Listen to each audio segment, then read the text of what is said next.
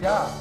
Fahrt, es tut mir so leid, ey. Alles cool. Fahrt, ich bin leider schon blau, deswegen. was Ich versuche mich aber total so. Ja, was denn? Schreib mich nicht an, ich bin mega nervös. Hallo?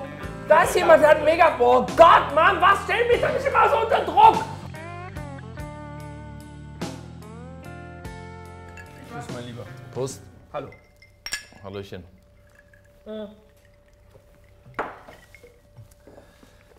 Hilf mir bitte. Gerne. Wobei, genau. So wie sich. Wie, wie dich deine Freunde ansprechen. Was sagen die? Äh, meine Freundinnen nennen mich eigentlich so, wie ich auch als Künstler genannt werde, Fahad. Daher kommt der Name auch, weil mein richtiger Name ist Fahad. Und das Ja. war den äh, Jungs auf der Straße zu lang. Hat zu lange gedauert. Wir haben dich Fahrt genannt. Einfach Fahad Abkürzung Aber Fahrt heißt Furz auf Englisch. Ja, aber wir sind ja nicht in England, weil auf Arabisch heißt es auch Waffe. Ich weiß. Und auf Französisch heißt es Schminke. Was heißt denn Fahad? Fahad, äh, es hat keine richtige Bedeutung. Es war ein armer Bauer, der hat sich in die Tochter vom König verliebt. Dann hat er die Shirin abgezogen, ist mit ihnen in die Höhle. Dann kam der König, wollte ihn umbringen und die Shirin auch. Hat er gesagt, nein, nimm deine Tochter, ich bleib alleine zurück. Und hat aus dem riesigen Berg mit bloßen Händen einen Palast gebaut und ist dann einsam und alt gestorben. Versteht Fahad ihr? Shirin. Ganz kurz, ganz kurz, das muss man an der Stelle sagen. Das ist persische Kultur. Darauf geht Mathematik zurück, Sprache etc. pp. Versteht ihr? Ha? Da kommt ein Typ, der sagt, hey, wie heißt du? Ja, Klaus. Das. Nein, bei Fahrrad funktioniert das. Bei Klaus, also warum heißt du Klaus?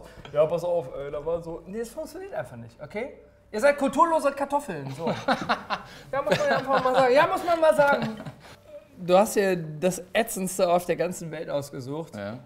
Du willst auch noch Hip-Hop machen. Was los? ja, ich wurde vergewaltigt in der Kindheit, deswegen habe nein, ich mir nein, gedacht, ich komm, mache Hip-Hop. komm, kein Scheiß. Warum? Äh, äh, weil ich mit Hip-Hop aufgewachsen bin. Also ernsthaft. Wie alt bist du jetzt? Ich bin 19. Au- Vom Aussehen ein bisschen gereifter, wie ein Wein ist es bei mir.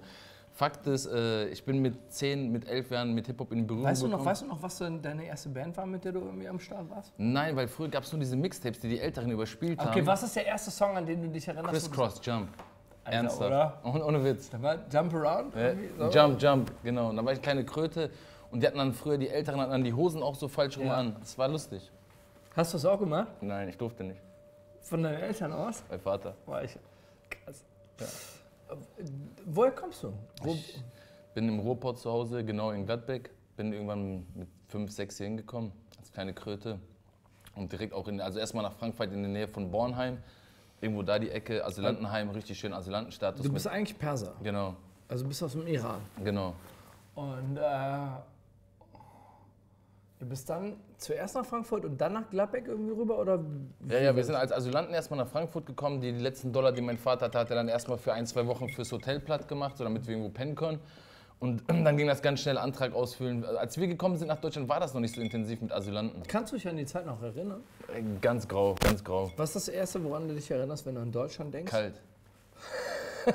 Ja, komm geil, dem- zusammengefasst. Ja. Ping, Punkt. Ich komme aus dem Süden von Iran und da ist im Winter 25 Grad, 24 Grad, so Abadan die Ecke. Aber du weißt ja auch, dass es im Iran ein mega geiles Skigebiet gibt, was die wenigsten Leute wissen.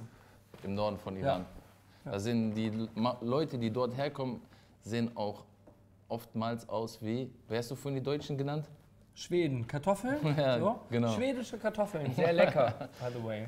Die sehen oftmals so aus. Sind hell, Ehrlich? ja, ja, sind hell, haben blaue Augen. Als du hier hingekommen bist und diese ganze Kiste nie gesehen hast von Schnee etc. pp., als du hier warst in Deutschland, egal wo du vor warst, du warst ja in Gladbeck, Ja. kannst du dich noch daran erinnern, als du das erste Mal gedacht hast, als du gesehen hast, Alter, das ist Schnee?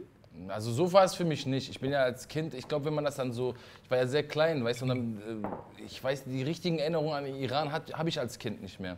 Deswegen war es für mich keine Umstellung. Verstehst du? Ich hab, wenn ich jetzt zurückblinke, ich weiß nicht, was mit meinem Unterbewusstsein da in dem Moment los war, aber wenn ich zurück, mich zurückerinnere, habe ich keine Kindheitserinnerung an den Süden von Iran. Was ist denn das Erste, woran du denkst, wenn du sagst Iran? Äh, was ist das Erste, woran ich denke? Heimat.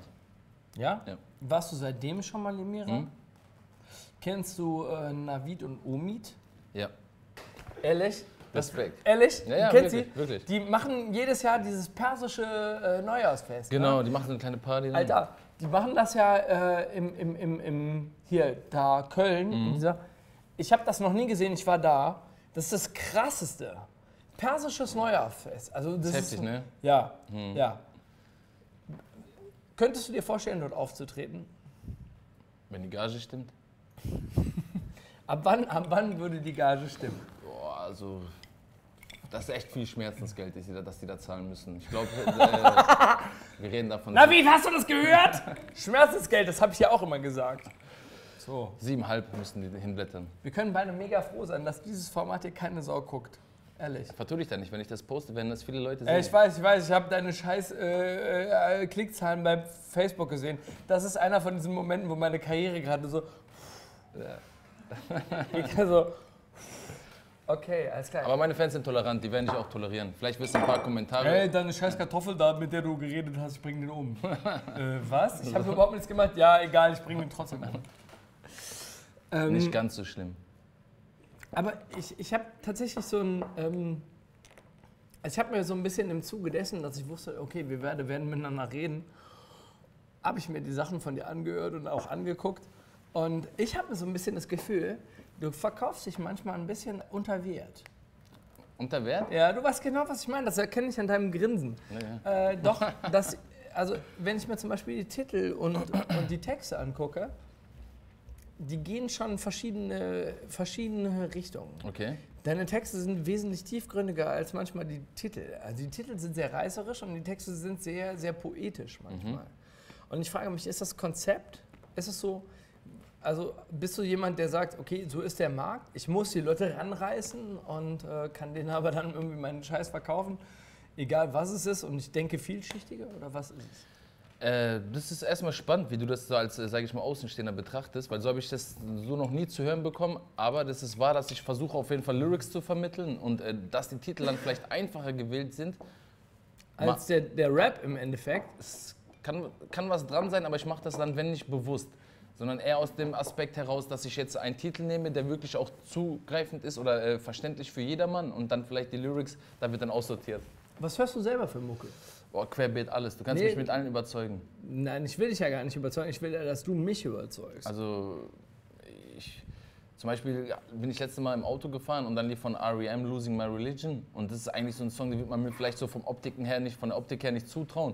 Aber das ist ein unglaublich starker Song. So, und dann habe ich mir überlegt, wie könnte man das in Rap so rüberbringen, wie er das gemacht hat. Weil es ist eigentlich ein sehr nachdenklicher Track, aber gleichzeitig ist er tanzbar. Und das fand ich so spannend an dem Song. Auf welchen Song von dir würdest du tanzen? Auf gar keinen, ich tanze überhaupt nicht. Ich bin der schlechteste Tänzer, den du jemals gesehen Alter, alte Regel. Wer Zeit hat zum Tanzen, hat kein Geld zum Für Saufen, Trinken. ne? So. ja, genau. hast. Das ist eine Ruhrpott-Mentalität. ja, ich weiß. Macht dich sympathisch. Dankeschön. Aber nichtsdestotrotz äh, vertraue ich ein Stück weit, auch wenn ich sie nicht alle mag, der Polizei und äh, in Deutschland, dass sie da ein Stück weit gegenhalten.